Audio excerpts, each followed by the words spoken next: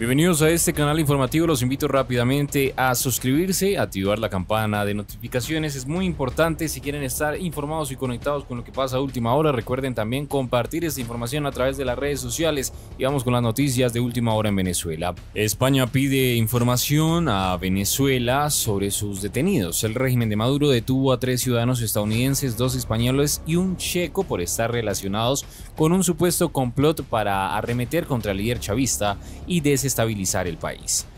El gobierno español reclamó este lunes a Venezuela información oficial sobre los dos españoles detenidos en el país americano junto a otros extranjeros bajo acusación de estar vinculados a un supuesto complot contra Maduro. El Ministerio de Asuntos Exteriores también exigió una clarificación de los cargos de los que se les acusa, señaló el ente en un comunicado.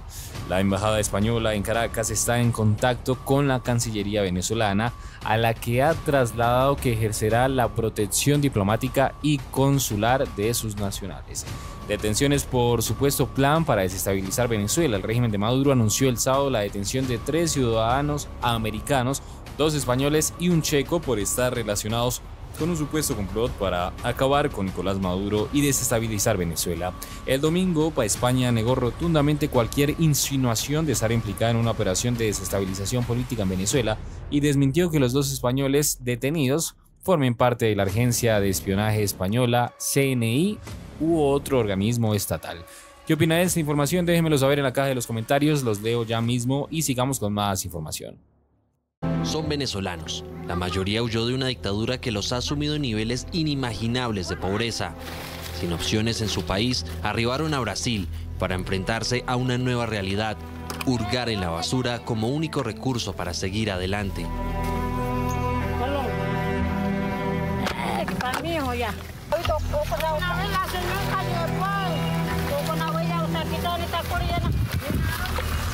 El drama humanitario se hace palpable. Familias enteras, agotadas por la miseria, se ven obligadas a buscar entre montones de desechos en un intento desesperado por tener algo que comer. En Venezuela no hay, hay comida, pero es caro para comprar ya comida en dólar. No, no tenemos y ya OPA también es caro ya comprar ya, ya OPA puro ya dólar. Los buitres, omnipresentes en los vertederos, revolotean sobre las cabezas de los migrantes, completando un cuadro sombrío de desesperación.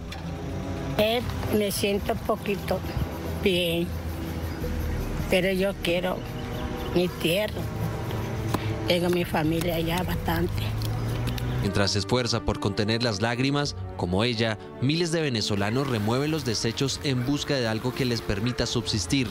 Para muchos, la única salida es vender lo que encuentran por unos pocos reales, el equivalente a un par de dólares. Yo lo vendo allá abajo de un señor que compra aluminio. Yo lo vendo por allá abajo, me da los realitos y yo compro algo pues, para comer en la casa, que es un arroz, una harina. Algo barato. Cada día, un promedio de 500 ciudadanos venezolanos cruzan a Pacaraima, la primera ciudad al otro lado de la línea, buscando no solo una mejor vida, sino una posibilidad de sobrevivir. Un día mío en Venezuela, mire, era terrible. A veces tenía que quitarle a mi familia para vivir. Yo vivía con mi mamá y mi pareja. Mi pareja tenía que salir por ahí atrás a ver cómo ser en las minas. En las minas tampoco le daba mucho. Se venía que sí con un punto, dos puntos de oro, así.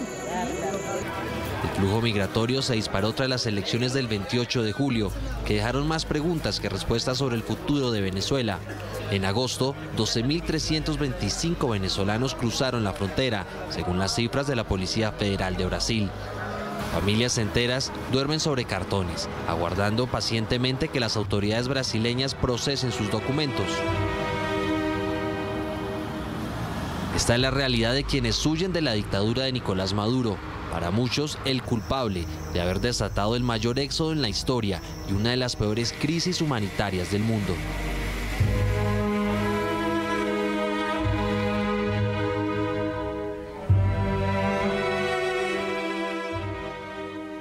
En Bielefeld, Alemania, es un gusto saludar a María Gabriela Trompetero, profesora e investigadora sobre migraciones forzadas. Gabriela, bienvenida. Muchísimas gracias por la invitación y un saludo a la audiencia. Gabriela, de nacionalidad venezolana, entendemos que después de las elecciones ya era predecible este éxodo, pero ya la migración por la frontera con Brasil se venía dando, porque estamos acostumbrados a que fuera por el Darién, pero está pasando por acá. Eh, sí, realmente lo que está sucediendo en la frontera con Brasil no es una sorpresa. De hecho, si bien en el último mes han subido las cifras, ya había un flujo de salida importante de personas venezolanas, tanto indígenas como personas de distintas partes de Venezuela, eh, huyendo, digamos, de la emergencia humanitaria compleja, que recordemos que no había mermado en Venezuela. Y ahora también eh, huyen las personas venezolanas por el tema de la brutal persecución política que se ha desarrollado en el país después del de, eh, fraude electoral que ha sucedido en Venezuela el 28 de julio. En el mes de agosto aumentaron en un 18%, más de un 18%, las cifras de solicitantes de refugio de personas venezolanas en la frontera con Brasil, en el área de Pacaraima. Y pues las imágenes también nos han mostrado cómo se observan cada vez más filas de personas buscando protección en el país vecino. Adicionalmente, en lo que se trata de pasos de personas venezolanas, estas pasaron de 9.197 en el mes de julio a 12.325 en el mes de agosto. Así que no es una imagen nueva, pero sí es una imagen que se está incrementando en el contexto del fraude electoral y la persecución política. El primer punto al que se cruza es Pacaraima. Para este crecimiento y el que viene, ¿no, ¿no están preparados los puertos oficiales, ya que algunas personas llevan hasta dos semanas esperando? Eh, pues sería una sorpresa que los puestos de control no estén preparados, ya que era un escenario previsible.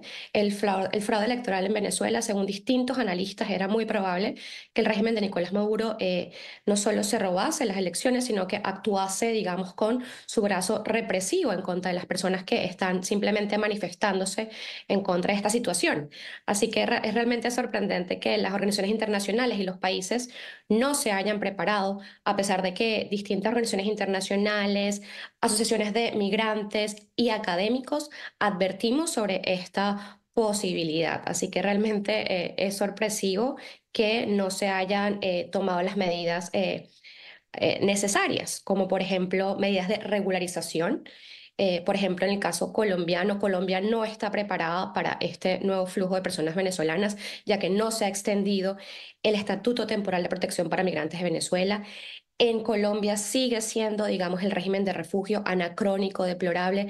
Las personas que solicitan asilo en Colombia no pueden trabajar. De hecho, según la asociación Juntos se Puede en Colombia, tan solo ellos han recibido más de 170 personas en el mes de agosto pidiendo protección internacional, personas venezolanas. En este sentido, eh, pues que no se esté dando la respuesta adecuada es realmente eh, algo incomprensible, pues este escenario eh, era de esperarse y distintos actores advirtieron sobre la posibilidad de un aumento en los flujos migratorios eh, desde Venezuela.